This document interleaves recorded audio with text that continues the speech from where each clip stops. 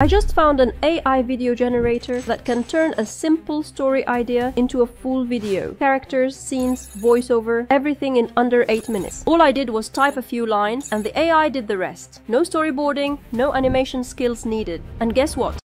I'm not just showing you one tool, I'm testing two. Stick around to see how they compare and check out the stories they created. Alright, first up is Animate AI. This one claims to generate full animated stories with consistent characters and automatic voiceovers. Let's put it to the test. I'll type a short story I generated using ChatGPT, but before we hit generate, let's click on any of these icons. You see it brings up this settings window. We have the number of scenes, maximum three in the free plan, then the duration of each scene, is 5 seconds in the free plan. For the visual style, you can choose either Pixar or Disney styles. You can't change the resolution in the free plan. The text model you can choose from this drop-down list. You can also choose the image model. For some reason, only Midjourney is available. And the video model, Minimax, or Kling AI. Subtitles are available in the paid plans. You can choose between English or Chinese. On the right, we have high quality voiceovers to choose from. Now, I hit generate. You see, it started generating detailed prompts, the story, the character details, and even the character sheet with the character from three angles. Then we can see three storyboards are being generated. The storyboards are ready, but on the free plan, they remove the ability to edit the storyboards. And here is the final story you can download. Well, I am impressed with how quick the video was generated. The scenes look smooth, except for this character duplicate we see at the start of the video. And the voiceover is pretty decent. The total length of the videos it generates on the free plan ranges between 16 and 22 seconds. The videos you generate on the free plan are public and anyone can download them. But let's see how it compares to our second AI tool. Before that, let's answer the question, is Animate AI worth it? If you think about it, to create this kind of 3D animation the traditional way, you need to design character images. Use Leonardo AI or Midjourney to generate the character images. Refine your prompt prompts until the AI outputs a uniform design across multiple angles. Create separate AI-generated environments and objects that match your story's theme to maintain visual consistency. Animate your scenes. AI won't get the motion right the first time. Generate multiple versions, tweak prompts, and adjust settings to get smoother, more natural movement. Generate the voiceovers for each scene. Stitch the short clips together in editing for a polished final product. But if you use Animate AI on the free plan, you can generate 16 second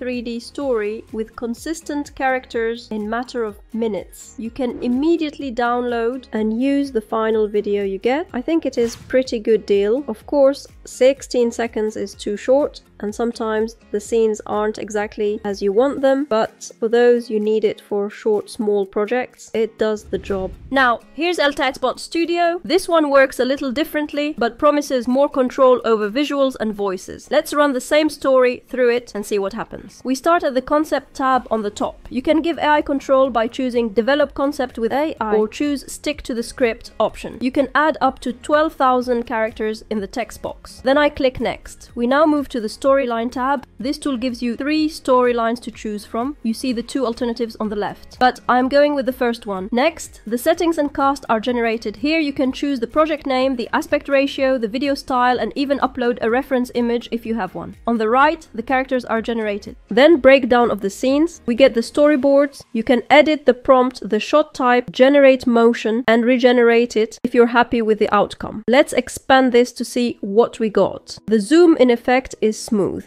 I like this one. If you click the three dots, you can do a bunch of things. Lock the frame, delete, download or duplicate.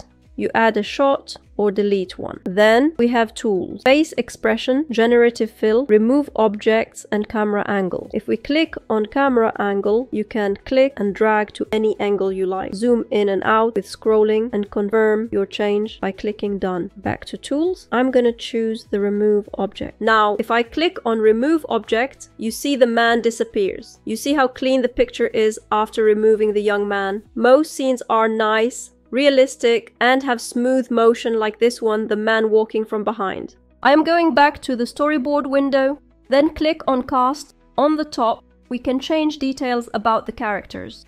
I am going to change Madame Corva to an older lady. I will change the age and the hair color to grey.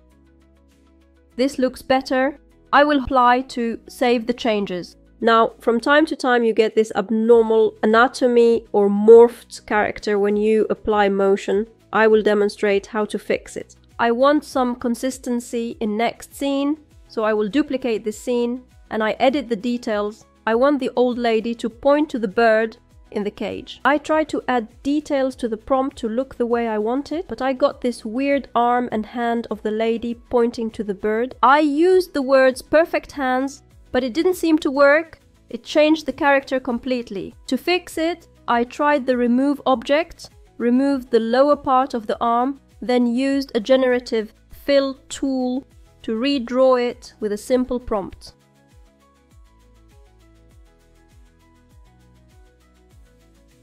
This gave me a much better hand. I did the same for the other arm, and I must say I like this generative fill tool. Now, the expression of the old woman doesn't look natural, so I will try to effect it using the face expression tool. From the expression presets, I chose determined and this makes the expression a bit better. I played with the eyes and head positions to get a slightly better expression.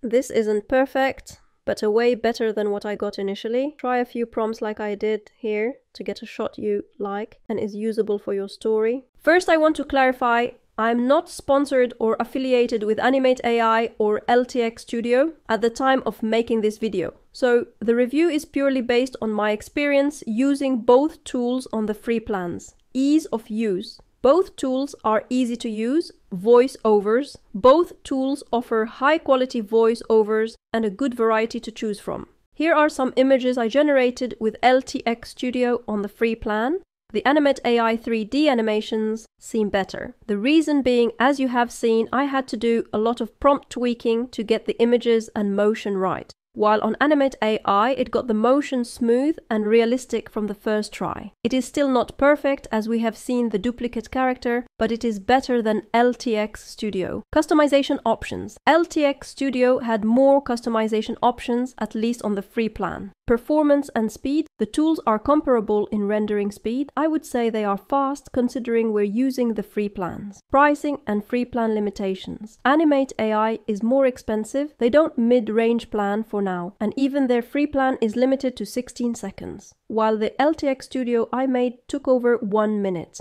They offer mid-range plan for $15 with generous number of computing seconds per month. Which tool would you use? Let me know in the comments below. I also must mention that Animate AI keeps the character consistent with no efforts, while LTX Studio you need to work on the prompts. I prefer Animate AI, but it is more expensive than LTX Studio.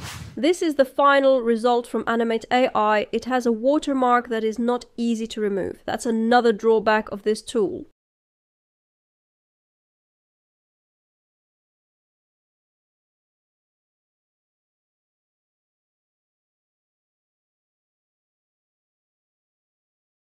This is the final results from LTX Studio. Elliot Gray had always admired birds from the tiny sparrows in the park to the grand eagles that soared above the city. But he never dared to climb or even look down from high places. Heights turned his stomach to knots. One afternoon, he found himself at Madame Corva's bird sanctuary, an eerie old house perched at the very edge of Windmere Cliffs. He had heard rumors about her birds, how some were said to be magical. Inside, the air smelled of feathers and old tide. A black raven named Nix sat with a broken wing. If you wish to help him fly again, you must first learn why he fell. Elliot took Nix home home and spent days nursing him. He fed the bird, spoke to him, and watched as he slowly healed. But one problem remained. Nix refused to fly. One evening, Madame Corva visited him. She led Elliot back to Windmere Cliffs. The wind howled, and the drop below made Elliot's legs tremble. She handed Elliot a single raven feather. The last feather, she said, isn't his. It's yours. You must let go of fear before he can let go of the ground. Elliot, heart pounding, stretched out his arm. Nix, as if understanding, spread his wings and leapt. For a moment, he dropped. Then, with a powerful gust, he rose, higher and higher, until he disappeared into the sky. Elliot stared in wonder, and for the first time in his life, he wasn't afraid of the edge. Courage isn't about avoiding fear.